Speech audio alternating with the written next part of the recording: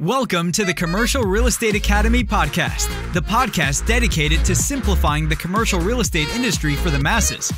Each week, we sit down with industry experts to dissect the many facets of commercial real estate and extract valuable lessons you can apply to your business. Whether you're a new or seasoned business owner or investor, the Commercial Real Estate Academy podcast will be your go to resource for all your commercial real estate needs. Now, here are your hosts, Raphael Collazo and Jeff Walston. Welcome to the Commercial Real Estate Podcast. I'm your host, Raphael Collazo, here with my co host, Jeff Walston. How's it going, man? Going great, Raphael. How are you doing today? Great, man. Great. No, I cannot complain. I'm above ground, and that's really all that matters. You know, I'm able to uh, continue along and, and do what I'm passionate about. That's great to hear. I'm glad to glad to see you above ground today. Yeah, I know. Thanks, man. I appreciate your your vote of confidence there. But but really, really today what i wanted to do was introduce a really phenomenal guest. He's a good friend of mine. His name's tyler chesser. He was a commercial real estate broker. Now he's focused primarily uh, on the investment side with his company cf capital. Uh, they primarily invest in multifamily assets in the middle of the country. He's also the, the host of the elevate podcast uh, which is one a top 200 business podcast in the world. And just recently he actually established the Elevate High Performance Coaching Academy, which is a high performance coaching academy that is dedicated to helping high performers take it to the next level. So elevate their performance further.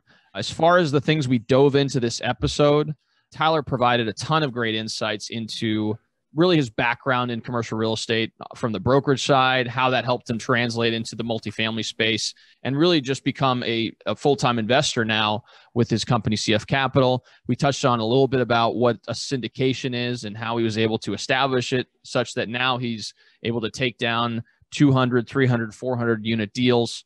Uh, we talked a lot about mindset of high performance, uh, which is important in particular for him because that's something that he teaches real estate investors and high performers on a regular basis. So that was extremely uh, valuable insights. And really, we rounded it out to try to get a feel for, you know, how how we can apply the lessons that we learned from this podcast to now taking action in the world, or really talking about the compound effect, uh, slowly but surely making progress towards your goals, and realizing that if you do that over an extended period of time, you're able to achieve a significant amount, even in a relatively short period of time. So again, I think this this podcast is filled, filled, filled with phenomenal information, and I think you guys will gain a ton out of it. Uh, Jeff, did you have anything else you want to add? Just his knowledge and his his experience uh, from what everyone can gain from this. I mean, you're talking about creating financial freedom here, and and just gaining back, which is very important, is time. I mean, a lot of insights that he he can give us, give you guys some things that we actually learned too as well. So can't oh, wait yeah. for you guys to hear it. Oh yeah, I learned a ton and I think you guys will as well. So without further ado, let's dive right into the episode. Hey Tyler, it's great seeing you. Uh, I know we we've talked on multiple occasions recently, but it's always good to see you and uh, at least virtually this time. So welcome to the podcast. My pleasure to be here, Raphael. Thank you for having me, and Jeff, great to see you as well. Good seeing you, Tyler. Definitely, man. Well, when we first dive into each podcast episode, we like to learn a little bit more about the the individual that, that's sitting across from us. So if you could kind of tell us a little bit about yourself, kind of behind the bio, as you like to say in your in your podcast episodes. Sure. Yeah, happy to do it. And uh, thanks again for having me. So I guess to, uh, you know, kind of give you a little bit of insight on sort of who I am, what I've come from you know i grew up sort of in a middle class environment you know my my thought of success was always to get a corporate job and kind of climb that ladder and so that's the approach that i took right you know I, I mean as a kid i was i wanted to be an nba basketball player because my heroes were yeah. michael jordan scottie pippen Steve Kerr, and then it was Kobe Bryant, Shaquille O'Neal, like those type of guys. Yeah. But then, of course, my my my talent did not pace to my my expectations of myself, and so you know I'm still a huge basketball fan, but you know I, I grew up and with that sort of frame of mind, and I got started professionally uh, working in the corporate world, and so for a few years I was uh, you know international marketing specialist, a market research analyst and uh, digital marketing coordinator. and so I was growing in the in the corporate world, and you know I visualized myself in a C-suite or you know in, in that corner office, and so as I sort of got more familiar with uh, the corporate life, I got more familiar with the politics of corporate life as well, and so I didn't really love that. And it took me a little bit of time to really understand that I began tolerating my life. I always say that I was kind of tolerating my life. And what I really mean by that was I felt like I was just kind of going through the motions after a while and I was doing what I needed to do. And, you know, I thought that I was, you know, providing more value and I was hoping that I would become more valued by the organization and, you know, be seen and, and kind of grow exponentially in my role. But what I learned was that I needed to put a certain amount of time in that role before the organization would allow me to take that next step and that's just the way that it was and so you know i started to question hey is this the path that i really want to take i decided to go a different route and obviously you know we know each other now through real estate and um, i got into real estate as a salesperson and um, you know started selling property and you know along that path uh, of course i didn't really know anything about real estate as i got into it. I knew that i had some skills to connect with other people and to to get familiar with the business and to navigate and to market myself to market my services and to grow a referral based business and as i did that i learned more and more about real estate and as you guys know you know when you say the term real estate i mean you can mean thousands of different things right and so yeah as i got more familiar with the income producing nature of real estate i started to become very fascinated with the limitless p- potential that it could create for my life and so i started to really get engulfed and, and, and immersed in the investment side of real estate. And so I started building a multifamily uh, real estate portfolio because that's what I specialized in on the sales side. And, um, you know, it continued to kind of grow and expand from there. And so now, you know, that's what I do full time. And I also coach real estate investors and entrepreneurs across the country. And, um, you know, I also host a podcast called Elevate. And, um, you know, we, we're all about personal professional growth, personal professional mastery, mindset, as well as using real estate as a vehicle towards creating outcomes that you want in your life. So I've just become really fascinated with personal transformation because that's what it's required for me to go from an employee to an entrepreneur, an investor, and someone who's kind of multifaceted. So that's a little bit about me kind of behind the bio. Definitely. No, and I and I do admire you for a lot of different things that you're doing. Similar to you, I also uh, am big into personal development, and I felt like in a lot of these corporate environments, especially ones that are extremely established and not really a startup in nature, you're kind of pegged into a particular box and you're kind of not really allowed to color outside the lines. And as someone who's, you know, a little bit more creative, uh, you, you, you, you almost want to be able to have that flexibility. And so I definitely can relate to that mindset or that, that thought process as you're going through the transition from what you were doing before into commercial real estate. So that's awesome. Yeah. Thank you. And I appreciate that. You know, it is interesting because looking back, I wasn't nearly as valuable as I thought I was. you know, because I, I, of course, I'm thinking, well, wait a minute, why haven't I gotten all of these other promotions? But I'm yeah. glad that I was a little bit dissatisfied because that caused me to take the path that was more, you know, appropriate for my life. And I didn't know at the time which direction I would take. I didn't know anything about, you know, cash flow. I had no idea about an IRR. I had no idea about a cap rate. I mean, as simple as that sounds and silly as that sounds, you know, it it pushed me in this path to really gain those resources and the resourcefulness to you know continue to take steps forward. And you know i continue to take steps forward in directions that hey look we'll assemble the resources right? We don't have to have every answer today but i appreciate you sharing that. Yeah definitely. And i'll even say on your on your end the highest and best use that's a term that we often use in commercial real estate to describe what the best use of a particular property is but that same logic applies to a person. Your highest and best use may have not been in that role so that you couldn't have maybe you couldn't have operated as someone who was maybe their highest and best use was that particular role. So that's something I learned when I was in software development and consulting. That probably wasn't my highest and best use, but now that I'm doing something else that's a little bit more aligned with my strengths, I feel like that, you know, hopefully the sky's the limit in that in that sense. That's a really good point. And I'll stack on that because, you know, I look at us as people as value add projects, right? At some mm-hmm. point in our time, we're distressed, right? Like we need to come in and provide capital expenditures into our own improvement, right? What is our NOI? What's our value? And so I think it's really valuable to kind of look at yourself in that capacity because look, you know, we're always a work in progress and each and every project is as well, but it's not like, oh, well, we have to be, you know, so down about that. It's an it's an opportunity for us to take it to the next level. So I love that you brought that up. Awesome. So you said that you were special. You specialize in multifamily real estate. So why did you choose that avenue, in particular in real estate for multifamily? By pure luck by 100% luck uh, because I got into business originally. I was selling houses, and I learned very, very quickly that uh, the emotions of residential real estate were not going to work for me. And I was trying to figure out, all right, well, wait a minute. I doubled my income in six months. So that was good. But I didn't love that I was like having trouble getting properties sold because of the color of the paint. And to me, yeah. I just like had this internal thing and I'm like, that doesn't make sense. But now looking back, obviously, I know exactly what was going on. But I started to, I was just really networking. Like, what should I be doing? And when I read Rich Dad Poor Dad, of course, you you learn about the income producing nature of real estate, and then you start to look at everything around you in a completely different way. And I started networking, and and lucky enough for me, there was a group that was selling a significant portfolio of properties, and the overwhelming majority of those properties were multifamily. And so I took on this portfolio to sell it, and it was about a thirty million dollar portfolio and it was tough there was a lot of tough properties but it was a phenomenal opportunity for somebody who's willing to really get their hands dirty and really hustle and so you know i was selling properties in rough parts of town in bad shape uh, but some properties that were in great parts of town and in great shape and so i learned all about you know what investors are looking for and how to negotiate and get a ton of repetition on a ton of deals so that was a huge lucky break but then you know it was you know it took me a couple years to kind of really sell through that but then I became known as the apartment guy through that. And so it was definitely a blessed opportunity. Uh, but then I just had to take the ball from there and run with it.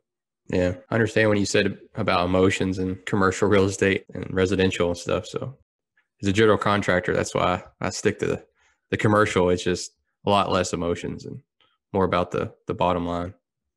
It's a big deal. It's yeah. a very big deal. Yeah, and and um, obviously emotion can come into play in any situation, but more so Correct. on the commercial side, it's just it's more rooted in some sort of thought process whether it's you know numbers or whatever else. So i can definitely relate to that. Well and it's actually a really good point too because yes there's definitely still emotions at play. Yeah. But at the end of the day the drivers are much more logical. Um, but i think it is important for us to recognize even if we're investing in commercial real estate or all these different asset classes that are really income producing we still do need to understand the emotions at play within ourself and others especially in negotiations, because people are looking to obtain certain things that yes on the surface it has to do with the dollars it has to do with you know the investment potential but the deeper level is so level. much deeper than that. So it is it is really interesting for us to know that and really be able to influence other people. So yeah there's a lot of levels to it Oh, yeah. for sure. I think there was a study done a while back where they analyzed someone's that had a compromised uh, portion of their brain where their brain was. And when it was compromised, they had a really hard time making decisions. So they were able to determine that, you know, a big part of your decision making process is that you you use logic and numbers in order to justify making a decision through your emotions. So if you don't have that part of your brain that's that's operating at full capacity, it's very hard for you to even make a decision. So just because, you know, residential real estate, their emotional logic is, or their, their logic is, oh, well, the walls, you know, maybe red or whatever else on the investor side, it may be that, you know, their emotions more like, oh, we need to get a certain return in order for me to feel secure. And that emotion is, you know, security. That's exactly right. Or they might be looking for, hey, the reason why we're trying to get more cash flow is because I want to go travel the world more and I want, you know, I've already got security. Security was way behind me, but if we can make this deal happen, I can go and do what I want to do. So that's a great point.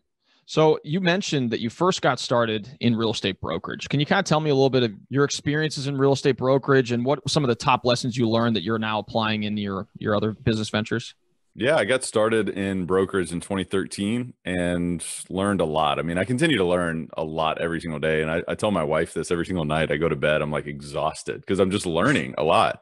And, but I love it. You know, like that's what it's all about. Actually, that's the biggest thing that has been the biggest blessing in real estate is instead of like my every two weeks being guaranteed, I have to go out there and make it happen. And it comes down to my willingness to learn and to grow and to apply new learning. So, as far as the top things that I've learned, it's about delivering more value than you expect in return. And it's about playing the long game. Like, those to me are the biggest lessons is that, hey, if someone knows about me and they've heard about me, you know i'd love to to be able to deliver beyond their expectations in whatever capacity and so that was a huge thing within my brokerage business is that every single deal my philosophy was hey no deal is better than a bad deal. Like if if this deal doesn't work out you know i know on the surface and maybe many other brokers out there would say you know what? Let's just do the deal at all costs because i'm going to get a commission and you know you can go away after that.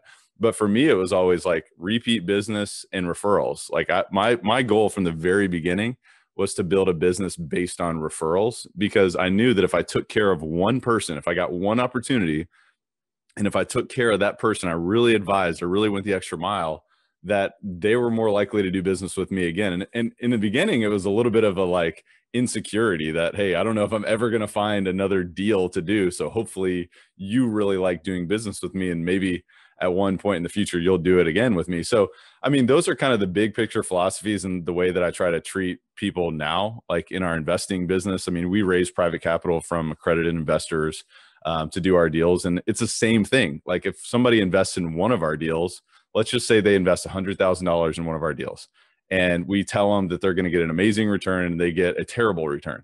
Yeah we got their $100000 but they're never going to invest with us again. So for me, that philosophy rings extremely true in everything I still do, going above and beyond. The other things too, I mean, like the repetition of negotiating deals and really understanding drivers and understanding the nuances of certain marketplaces and certain submarkets and uh, all that kind of stuff uh, was really important. I mean, I went out and got my CCIM designation because I felt like I wasn't an expert and I wanted to be an expert. I wanted to know you know what am i really doing if i'm advising someone you know i learned from some of the greatest investors um, i've also learned some big mistakes from some of the more or less seasoned investors in terms of decisions and you know there was times where i advised clients to do you know go in one direction and you know they wouldn't and perhaps they would make a mistake or perhaps my advice was you know misguided misguided. And so you know being humble and being willing to say hey you know what? I really messed up there and really owning up to mistakes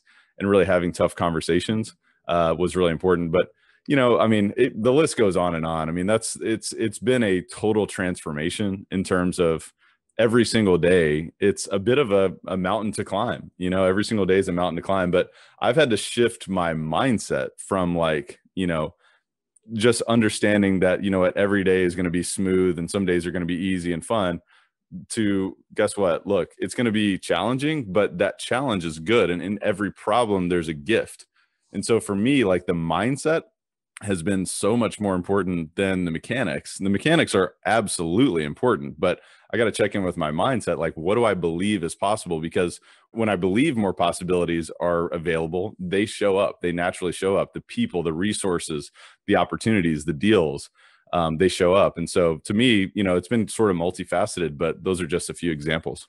Oh, for sure. No, and I value what you said related to the mindset piece because, again, coming from a corporate environment where you're getting paid by a monthly basis, you kind of get in this repetition of like my my actions are going to produce an immediate result within a certain time frame.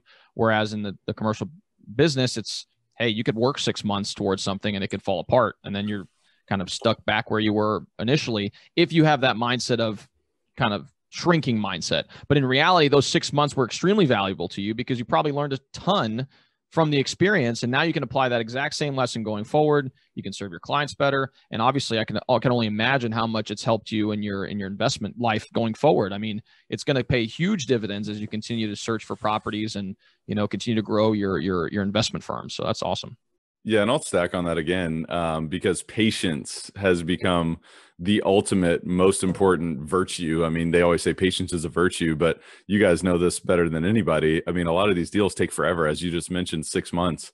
I mean, some of these deals take multiple years. I mean, yeah. two, three, four, five years. Some deals, like they'll fall apart, and then two, three, four, five years later, they may come back together. And of course, you still got to be patient from there. So the patience and being willing to kind of live in that uncertainty and be comfortable with a ton of uncertainty and discomfort has been a really important lesson for me as well. I met Steve Galt and Charlie Marsh, uh, who's a commercial broker in town, and uh, I met them probably six years ago. And I'm just now this past month actually doing a deal with them. So you got to have the patience for it, or or the long haul, or you're not going to make it in commercial. Especially with the relationship. Like, just oh let- yeah, you know, it's like I'd love to do business with you guys, you Yeah. know, and if that ever happens, that's awesome. But if it doesn't, I have to be okay with that as well. I have to be Absolutely. willing to make introductions for you guys. I have to be willing to be an open book with information. You know, it's not like, hey, I know all the deals and you don't. It's about, Yeah. hey, what can I do to help you? And you know, eventually, it just I feel like it's been proven to come around. Reciprocity is a huge driver. I'm telling you. Speaking of uh, commercial deals, uh, I'm curious of your first deal and what lessons that you learned, like what experience you had. Well, when I was selling properties, I sold multifamily. I sold I sold a lot of multifamily. I sold retail. I sold mixed use. I sold office, um, raw land. You know, I did some leasing on retail and and office as well. So I'm trying to think. I mean, the first deal, the first deal I ever did was probably a fourplex, and it was a total dump. I mean, I don't know if that's what you want to go with. I mean, we could talk about retail or office as well. Uh, but the first deal I ever did was a it was a total dump you know, it was kind of in like the upper highlands if your listeners are are local, uh upper highlands, but it was really more so like very low income sort of submarket of the upper highlands. And uh man, that thing was rough. It was um, you know, four units kind of uh, up and down. And um yeah, I'm trying to think. I mean, it was like, you know, it had mold. It had mold in the crawl space everywhere. I mean, you know, we had to mitigate all that. And so of course, you know, you're negotiating the the resolution of that. And I'm like, man, this is a this is amazing. I'm thinking this is a huge apartment complex. You know, I'm selling an apartment complex, Yeah. and uh, so it was challenging, but we got it done. I mean, there was there was tenants who weren't paying their rent. I mean, these units were ratty as all get out. But um, I would imagine that property is pretty strong now, just in terms of where you know the the development and growth has gone. So there was a definitely an opportunistic buyer. I learned a lot. I actually was a dual agent on that, so I represented both parties and uh, so I had to manage, you know, those emotions and expectations when mold was Yeah. found and all those things. So, yeah, it was cool, man. That was a that was a good good experience. How about on the investment side? What was your first commercial investment?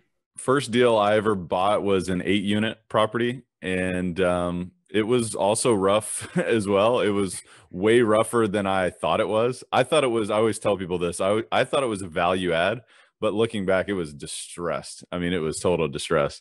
The guy who sold it to me was like he lived on property, and um, you know he was a little shoddy. And you know, of course, I think over the years your intuition grows, and you can sniff these things out, and you can feel it, you can see see it. But I was, you know, more green and you know wet behind the ears, and so I didn't understand that. But you know, I think what he did was he he he kind of loaded the rent roll, and so I think he had you know half of the property was really non-performing, and it looked like you know everything was good 100% occupancy. And i'm i'm looking at you know hey what robert kiyosaki told me is when i buy these things you know as long as the rent outpaces the expenses it's all good and you get the cash flow.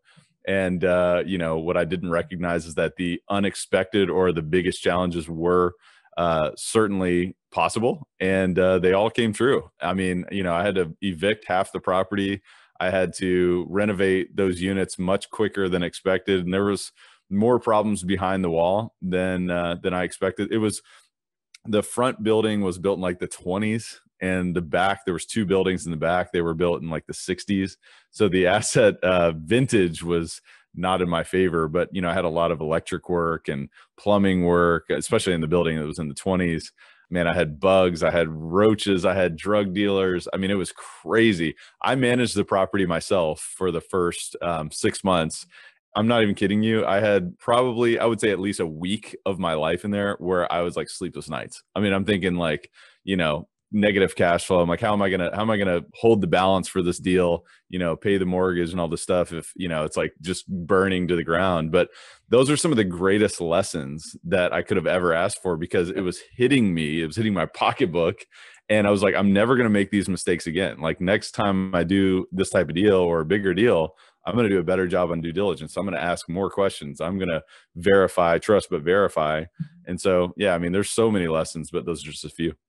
Absolutely. I'm sure getting behind those walls and learning about all the electrical and plumbing that that's, that's You know better than most, Jeff. yeah, yeah. I mean, unfortunately I do, but uh, I'm always a teacher when I, when I go into a building to, you know, what's behind the wall. So Well, and it's it's such a good point because it's one thing if you know what to expect. It's another if it just keeps hitting you in the gut Oh, yeah. one after another and it's like you were so ignorant that now you're just like i'm like you know you got another $10000 repair going on yeah. or something it's like crazy so yeah. it's important well that's not awesome that you went through it but definitely well it's awesome now experience. yeah of course and it's colored your your your vision now so as you approach the new investment opportunities in life you're you're ready to pull the trigger and know what you're looking for so well, I can say this. I mean, I'm glad I made those mistakes on that scale and with my own money because if it would have been with someone else, I can't even imagine what I would feel like if it was somebody else's money. I mean, it just it felt horrible for myself, and I feel such a larger weight when we're working with other investors. So, um, yeah, it's important, and it was almost like tuition in some ways, right? A hundred percent. So you've you've mentioned uh, you were in the commercial real estate brokerage side of, of the business. You've kind of started transitioning away from that and really been focusing more on the investment side now. So as as you guys know, uh, Tyler is the co-founder of CF Capital, which is an investment firm that specializes in uh, value add opportunities in multi, the multifamily space. So I kind of wanted you to talk a little bit about you know what was your logic transitioning over to that, and then can you explain what a syndication is, which is it seems to be what you guys are pursuing and what colored your strategy and, and why you decided to go with you know value add uh, multifamily opportunities in the middle of the country? You know when i was growing my commercial real estate brokerage company in my business you know it's so interesting because as i continued to grow i continued to learn like what was you know realistic what wasn't realistic and obviously i'm always thinking bigger about like where can we go next? And i was thinking about i had built this you know database or investor base or client base that was kind of you know nationwide or or uh, international in some capacities. And you know there was so much demand for product. And you know i was i was delivering upon that demand to a certain degree um, but i was not delivering to that demand to a very large degree. And so i'm thinking all right well how can i how can i go bigger? And how can i you know because i was already investing in multifamily with my own money. I was investing with partners and smaller deals and larger deals. And then i was investing passively as well with other people who were scaling. And the more that i learned about multifamily which i became very passionate about because of so many different factors but what I learned was that scale is the name of the game. Like on the smaller scale stuff, it was great that I learned and made those mistakes on the smaller scale because it didn't destroy me. I felt like it would, you know, in my mind, I thought it was, but it truly didn't. And ultimately, it was a win at a certain point. But as I continued to grow, each deal that I did that was a little bit bigger tended to perform a little bit better. And there was a better economy of scale uh, in that. And so I continued to grow. And of course, as I saw, you know, the performance of some of these larger deals that I was investing in passively, that really intrigued me. And so, you know, I just started to kind of educate myself on what that would look like. And and I got this idea that it was like, well, wait a minute, if I have so much demand from a client based perspective to invest in these properties where people are saying, hey, you know, we want to buy, you know, 100 to 200 to 300 unit properties, or we want to buy a 50 unit property, or we want to buy a 24 unit property, or we want to buy a fourplex. You know, to me, at the end of the day, what I realized is that real estate every form of real estate asset class, unless it's single family, is a vehicle towards creating an outcome that you want in your life. And so, what these people were looking for were goals from a financial perspective, which then led to whether it's financial freedom, time freedom, geographical freedom, impact, you know, all those different things. And so I'm thinking, all right, well, I've built an understanding, I built a repeti- repetition in this marketplace. I can help people do more if I go out and assemble the resources and really get tactful on finding deals and creating deal flow and creating systems and creating a team, and we can scale and everybody can win to a to a higher degree. Because what I was doing, I got so busy. It's like you almost get stranded by your success to a certain degree, and and I say that hopefully with all of the humility that I can that I can bring forth. But I was almost stranded, and there was only so much I could do on a one to one basis. And so I realized that if I assemble a team and we coalesce the resources and we all kind of win together that you know we could all have have a greater future. And so that was really the the decision making model there. And uh, so now that's that's what we do. And like you know my team is out there doing stuff right now while i'm having a great conversation with you guys. And we're both kind of you know pushing things forward in different directions that are helping everybody win. So for me that was kind of the decision but it was uh, it was definitely an evolution that that we had to go through Sure. So, if you could elaborate a little bit on exactly how you guys focus, and and, if if I'm not mistaken, it's more the commercial syndication model. If you could elaborate a little bit on what that is. That'd be awesome. Yeah, absolutely. Yeah. So we do focus on, you know, 506B and C uh, reg- regulation D offerings, which basically means for anybody who's never heard of that, you know, they're security offerings for accredited investors to participate, you know, passively in these acquisitions with us. And by the way, myself and my business partner, we invest in every single deal as well. And so, like as an example, right now we have a 250 unit deal that we just put under contract last week, and um, you know we'll be raising you know a little bit more than three million dollars uh, for this opportunity, and you know people can invest if they meet the requirements of the Securities and Exchange Commission. They can invest with us as a part of that opportunity and receive you know monthly or quarterly. We'll see what happens on this particular deal uh, in terms of what our accountant wants us to do, but they will receive quarterly or monthly distributions in the form of you know call it 7% preferred return so they'll get paid before we do of course the the property's got to operate the property's got to you know service its own bills its own debt and that kind of stuff. Cash flow will then be distributed to our passive investors and us as the general partnership will then participate in the upside. And so for this particular opportunity you know the passive investors will still participate in 70% of that upside and we'll participate in 30% and if we hit a certain hurdle of an internal rate of return of call it 14% on this deal then we've got an incentive to outperform that, right? So then we can participate in 40% of that upside, and the investors will participate in 60% of that upside. So that's typically how it works. And uh, of course, that's just in general, but you know, um, this is just a way for us to all win and, you know, and, and really to grow more. So I look at a syndication as like flying in an airplane, right? So we can either go and get a private jet and pay you know two hundred thousand dollars you know for the fuel for the staff for you know all the different resources the insurance you name it. Or we can go invest five hundred dollars thousand dollars we can go fly to california. So you know with with a group of other people. So that's the way that i look at syndication and that's the approach that we take on on our deals. That's awesome. Yeah because you can achieve like you said economies of scale with a larger property and hopefully at that point be able to achieve a higher rate of return per individual person. So that's awesome. And and I love the fact that you say that you also invest in your own deals with those with your investors because it aligns your interests together. And I've definitely seen people where it's where they say invest with no money in a deal. I feel like that is not necessarily the best way to do it because again, the interests aren't aligned. So if things start going south, you know, what's your incentive to continue to perform with the deal? So yeah, and it kind of goes back to the philosophy earlier was was just like look, like this is a long term relationship. Anybody who puts their trust in us and in our opportunities, like we do not take that lightly. So we also want them to know that we have skin in the game as well. And we already know that no matter what, we're going to do whatever it takes to make any deal, you know, win and succeed. Yeah. But we want them to know ahead of time that we have that commitment as well. So it's important. Speaking of the like the investment opportunity, I'm just curious of like how do you effectively source those investment opportunities for you and your clients? Yeah, I mean, our deal flow pipeline is pretty robust. Uh, is the most overused word in uh, the commercial real estate world.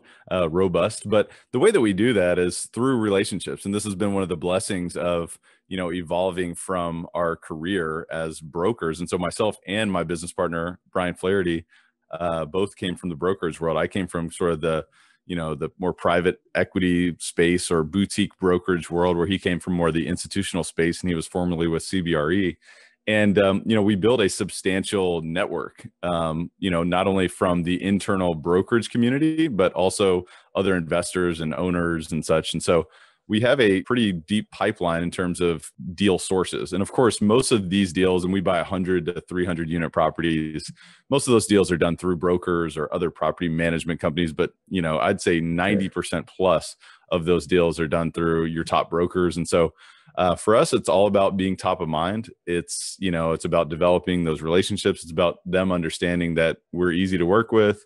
We get deals done we don't retrade we do what we say we're going to do. And so for us you know there's there's deals that that are on market that are actively marketed and there's deals that you know brokers have a very short time frame in terms of delivering you know a sale or a transaction to their client. And so they have a you know handful of of their top clients who they will communicate with and we'll have some time. And so for us the way that our internal process works is that we'll receive an opportunity myself and my business partner uh, we'll discuss is this an opportunity that we feel is worth spending resources on to evaluate? And so we we have an internal uh, underwriting and, and analyst team. And you know we actually it's a consultant a third party consultant that we invest in. We're on a monthly retainer and they you know they really go through our deals and evaluate you know what this looks like based on all of the you know the models that i just shared. And and by the way we don't we have not raised a fund to this point so we don't raise the capital before we get to a deal but we raise the capital when we get to a deal but we have an investor network that's like chomping at the bit for our opportunities and so you know, I'm just kind of circling around a few things there. But as we get these deals, you know, sort of on our plate, typically, you know, I'd say a hundred deals need to cross our plate before we close one. And that's just where we are in the current market. I mean, most deals are overpriced. They have no meat on the bone left, or, you know, somebody else is just swinging for the fences when we're saying, you know what, I, good luck with that one. So, yeah. So anyway, that's kind of how we do it. But typically we'll, we'll look at a hundred, we'll really deep dive into 30 and we'll probably offer on call it 10 of those deals and you know a few of those will will make into best and final maybe we'll have a negotiation or maybe we'll get a few of those under contract and maybe something will happen during due diligence uh, but typically out of that set we'll close one. And so that's just typically kind of our, our, our rule of thumb. Nice. And i think as well you can kind of attest to this i'm sure but you probably have set criteria that you deal with on the front end to filter out those opportunities that you shouldn't even be messing with. Uh, and absolutely. saves your resources, saves time, and again, if you have to analyze 100 deals individually each and every time, that's going to be extremely time consuming and, and not the best use of your resources. So, yeah, and I will say that's a really good point because, like, yeah, we have our acquisition criteria and we do try to stick really firmly to that. Now, we'll say in 2020, there were some times where we had to veer off that because deal flow is not nearly as strong. Like there was not nearly as many opportunities. And we still are opportunistic. Like there are deals like we're we're exploring a couple new development opportunities right now. And that's not really our bread and butter, but it's something that we've always knew that we were going to grow into. Um, so you know we're we're opportunistic and we're willing to capture things that make sense but if they don't really fit our bucket and they're way outside of that we're not going to spend time energy effort resources on it so now that we've kind of discussed a little bit about your background and everything else, I would like to get your cons or ideas on really the multifamily space going forward. I know you recommended a book called, uh, I think, Big Shifts Ahead or Great Shifts Ahead. I can't remember. I, I read the book a while back that you had recommended, and it does provide quite a few insights into where the multifamily space is going long term. I was wondering if you can kind of elaborate on your thought process on on that front. Yeah, that's a great book, and I had the um, I had the author on my podcast, so it was very insightful. And I think the big drivers in multifamily uh, are always going to be obviously, you know, migration patterns. It's going to be where is employment.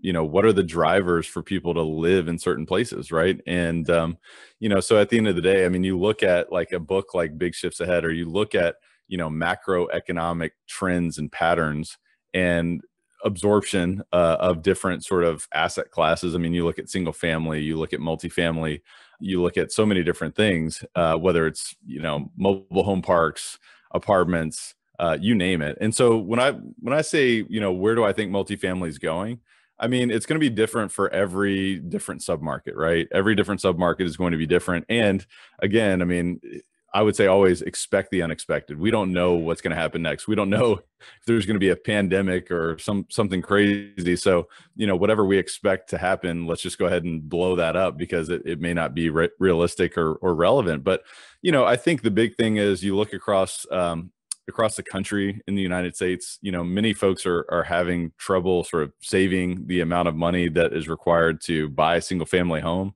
And a lot of people still have a little bit of a scar from what happened in you know 08 and 09 in terms of the um, real estate and residential housing crisis. And uh, so a lot of people see you know perhaps uh, other people who have had you know significant financial problems from owning a home. And um, you know so i think a lot of people like that flexibility as well. So those are just a few factors in terms of why people rent versus own. There's renters by necessity and there's renters by choice so, you know, will the pandemic, you know, change sort of those consumption patterns? I would say that, you know, in some ways, perhaps, you know, at least in the short term, I mean, people like Chris Porter, who wrote that book, um, you know, Big Shifts Ahead, say that a lot of those patterns that they were seeing are just seeing they're just seeing them accelerate they're not seeing different trajectories but they're seeing an acceleration of those patterns. And you know i had a, a woman named ivy zelman on the podcast as well and she's a, a wall street analyst one of the most legendary wall street analysts of the past you know 20 years. And she she mentioned a lot of really interesting things as well. I mean you know millennials is one example. That's like a, a buzzword right? What, what are millennials doing? And millennials what they're showing is that millennials are are wanting to own more homes now or at least occupy homes more now. And so that is a shift that we're kind of looking at. It's like all right well for the past decade or so millennials have been like renters by choice or necessity all of the above like you can count on them the expectation is they're never going to want to own a home. And now they're starting to build families and they're starting to think you know what? Maybe maybe living in a in a single family home is interesting. So I think you'll see a little bit of that, but you know, from a big picture, I would think that multifamily is is still going to be strong. You're going to have, you know, still migration. You're going to have immigration, and the, the population growth in this country will will continue to grow. As far as I'm concerned, I mean, again, this is all projection, but you know, we have a huge shortage of housing in this country. We have a huge shortage of affordable housing in this country. We have a huge inventory of, of housing units in this country that still need to be brought up to sort of modern times. I mean, you have a ton of product that was built in the 70s and the 80s and even the 60s that there's still an opportunity for us to add value to. So, I mean, there's a ton of factors there, and, and I don't know if that really muddies the waters too much for you, but those are a bunch of the things that we kind of place sort of our, our, our thought process on. But it'll be interesting to see where it goes. But we are very bullish on where it goes. I will tell you this: um, my partner and I we were talking to an institutional firm recently, and they're raising a six billion dollar multifamily real estate fund.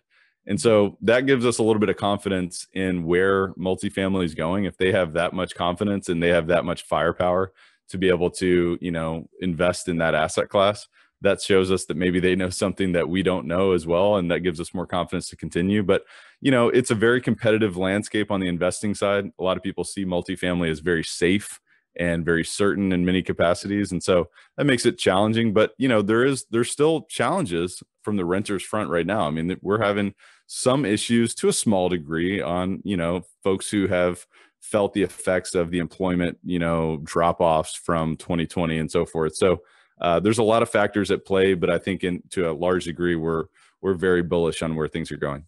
Definitely. No, I think that's some great great insights for sure.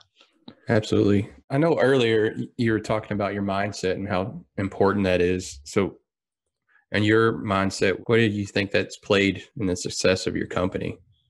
I mean, I would say that it's it's been integral. Um, yeah. You know, because the the thing that I go back to is like I think it was Henry Ford said this, and and Raphael, you might think it's corny because I feel like I say it all the time when I'm around you. But what he said was that if you think you can or you think you can't, then you're right.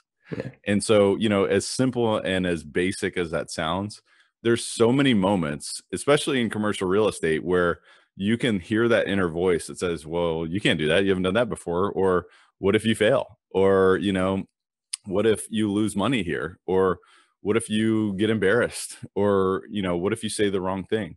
And so for me like mindset has been so important. The other thing too is that my mindset it's like a filter with which i see the world right? And so yeah. i can either see the world as you know everybody's out to get me or you know there's so many challenges and there's not any deals and there's no opportunities and all this stuff. Or i can see it as every so often i'm going to see a new opportunity or in every problem there's a gift or in every new deal there's another new deal behind that. And so there's just so much. I mean it's hard for me to even really scratch the surface on this topic because it yeah. comes up in every single moment. Like when you ask me a question you know beneath the surface my subconscious mind is telling me how i feel how i think and what i believe is true. And so like hacking into that and like planting the own my own beliefs that I want to believe that I want that are going to serve me rather than limit me has been so important. It's it's really changed my life to be honest with you because every morning I wake up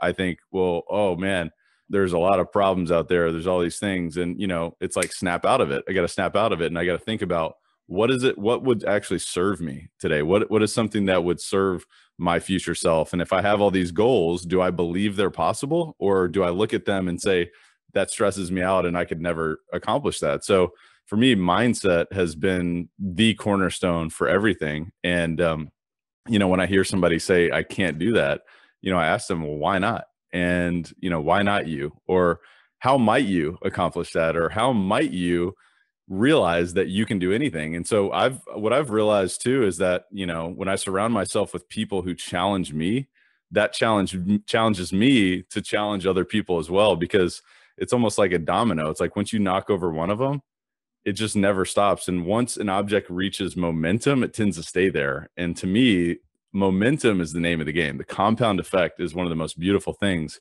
And once you have one belief, that leads to another, which leads to another, which leads to another. So it can go in either direction, but yeah. I'm extremely fascinated with it. Yeah, I could not agree more with what you just said. I feel like you, me, everyone, everyone has negative thoughts that enter their mind at a, on a daily basis. It's not something that people who operate at a high level struggle with. Everyone struggles with the same thing. It's just how they approach that negative thought process. Like anytime an excuse comes into my mind, I just think back to like my grandfather. My grandfather was uh, he was a laborer in, in in Australia, leaving after the war. You know, he went through a lot of different rough patches in his life, and he would always challenge me if I ever made an excuse about anything. And that kind of got me in a thought process of like, well, you know, like it's it's it's probably just me making an excuse about something. It's not I could probably figure something out if I just challenge myself to do that. So I really appreciate what you said there. Yeah, that's really really powerful. I think about my grandfather as well. He was um he was a farmer and yeah. um you know at 40 years old he woke up and he couldn't walk.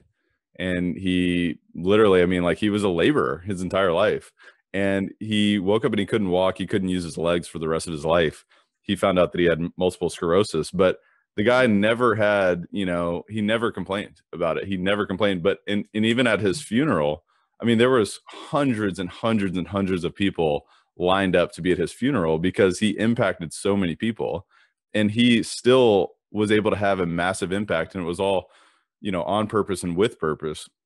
You know, everything that happens to us is happening for us and not to us. And I think once we change that filter from I'm a victim to this is a greater blessing this is a greater benefit i mean everything changes so it's extremely powerful percent agree so a big part of how you operate in your life is is through your commitment to personal development i was just wondering if you could kind of provide us some insights on your on the personal development approach that you have and any recommendations you have for other people that are wishing to achieve a high level of success or high level of performance in their life yeah, I love this is my favorite topic. Um, for me, it's it's always about how can I go to the next level because there always is another level. And one thing I've learned, uh, and actually from people that are experts in neuroscience and and biology and all this stuff, as crazy as it sounds, they have described and they have learned that human beings are designed to go big. Like we are meant to do big things and if we're if we don't that's really bad for us. And to me i find that fascinating. So we've always got to be expanding rather than contracting. And if we're making decisions based on contraction we need to check in with that. And so for me i didn't really know that until recently but now that i realize that it makes it so clear as to why i'm so addicted. I've become addicted to personal growth personal development to having conversations like this to you know investing in coaching to investing in masterminds to going to conferences. Like two years ago this week i walked on fire at tony robbins upw and to me like it still sticks with me because when i think about the next 20 million dollar deal it's like i already walked on fire barefoot. I can probably do that you know? It's like it's all good and um, as corny and, and ridiculous as that sounds i mean like those type of things and those experiences really stick with you. And i'm a big reader. I read all the time. I, I read a book a week typically. Um, so i'm always trying to devour you know content and information. And you know one thing i learned actually from a guy he actually wrote the the one thing jay papasan he wrote it with uh, mm-hmm. gary keller. I actually also had him on the podcast, and he shared something with me that was really profound. You know, whenever I learn something new, it's not like I just replace all of my previously held beliefs, I stack them on top of each other. And so for me, personal development is about learning, it's about questioning my assumptions, it's about updating my knowledge when necessary.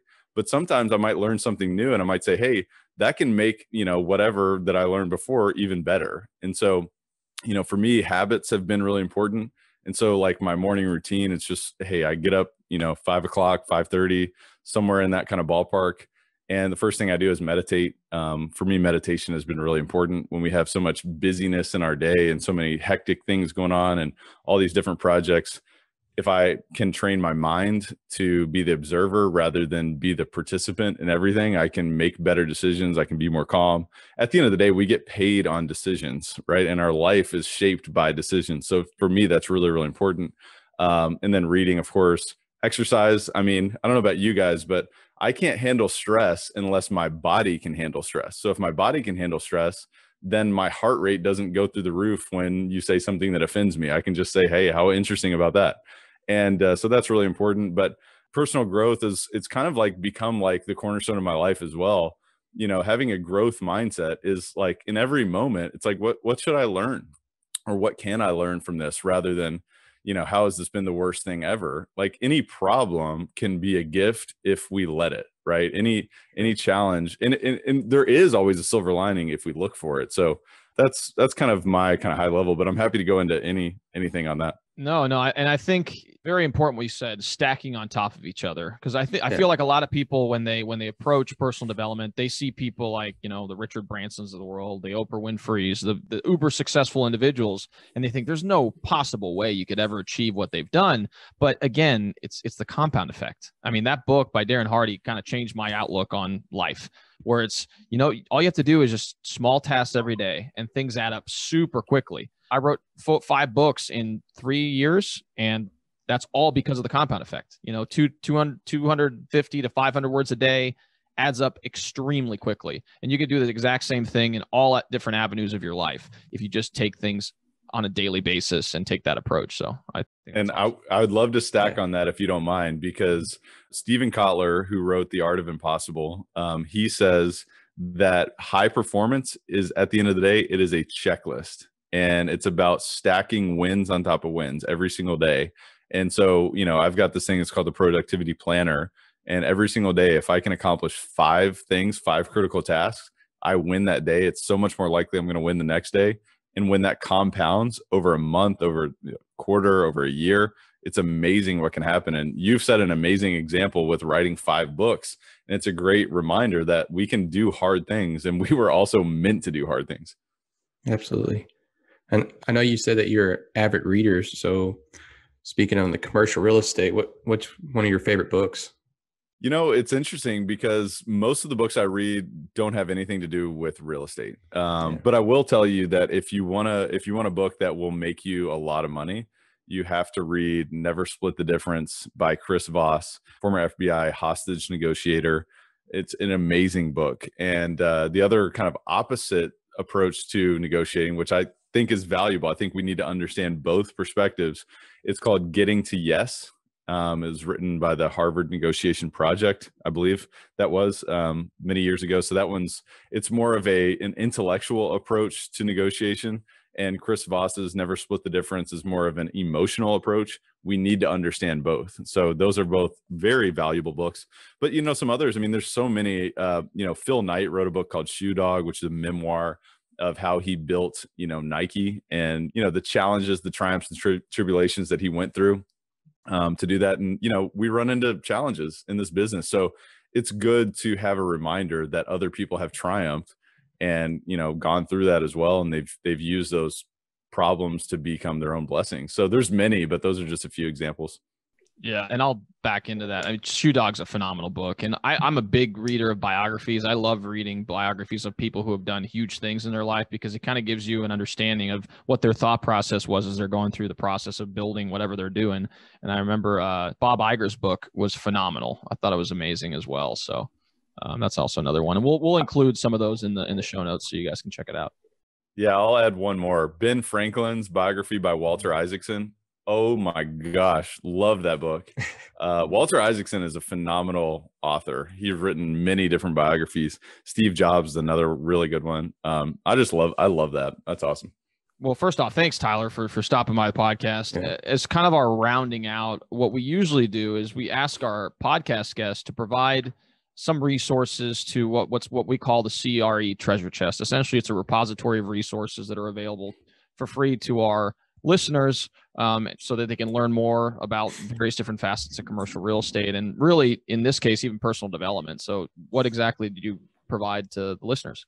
Well first of all it's a phenomenal idea. So i love i love what you guys are doing with that. And i do have two free resources. So one it's um, for people who want to understand more whether they are active multifamily investors or whether they would like to become active multifamily investors or passive multifamily investors. Uh, we have a resource. It's an ebook, and it's a very you know dense and value packed ebook. It's called "The Bottom Line: The Top Ten Ways to Add Value or Increase Cash Flow to an Apartment Complex." Um, so you can get that over at cfcapllc.com. Uh, or of course, if you guys, I can send you a PDF. You guys tell me how you want to how you want to handle that. But that's one thing and that's amazing. The other one is um, from a habitual standpoint. I, I, mentioned how habits have been so important for me, and so I've become really passionate about you know if we want to be high performers, we've got to check in and understand that forty to eighty percent of our actions daily are due to our habits, right? They're habitual, and sometimes they're subconscious. We don't even realize we're doing them. So we've got to have habits that are serving us rather than limiting limiting us. And so I created a guide, and it's called Raising the Bar um, what this is is five steps to elevating your habits, and um, that's you can you can access that on elevatepod.com, and that's a free PDF as well. It's a workbook, so you actually go through this whole process of literally transforming three habits, and it it is a game changer. So those are just a couple resources. Awesome, Tyler. Well, thank you so much yeah. for being so gracious with those those resources. I mean, I know a lot of yeah. people are going to gain value from it. Absolutely. I mean, I'm probably going to be one of them. So yeah. that's awesome how can uh, the listeners get a hold of you? Like, where do you where do you want us to direct them and plug you in? Well, I think I mean if your if your listeners are listening to a podcast, probably the easiest way is uh, to go check out Elevate as well. Elevate sure. podcast with Tyler Chesser. Uh, we're we're on every single platform, um, so you know go check that out. It's all about personal mastery, real estate investing, and elevating to a life without limits as a result. And I know that may sound crazy to some people, but I'm telling you, it's possible. If you believe you can, or you believe you can't, well, then that's true. And so that's what Elevate's all about. So you can find me there. Um, you know, you can find me on, you know, the different websites I mentioned, CF Capital. If people have interest in, in uh, learning more about those opportunities, just cfcapllc.com. Uh, or you know tylerchesser.com that those are a few different websites of course i'm all over social media as well but many different places there Sure. And we'll include all those links in the show notes below. So if you guys want to learn a little bit more about Tyler, if you have any questions about what we talked about in this podcast episode, feel free to reach out to him. He's super responsive and just a very awesome and value packed uh, conversations you can have with him. So thank you. Speaking of a listener to elevate, I highly recommend it for all the mm-hmm. listeners. You should definitely go check it out. Thank you. I appreciate it, man. Well, thanks again for stopping by, Tyler. Really appreciate your time, and we'll see you Absolutely. guys next time.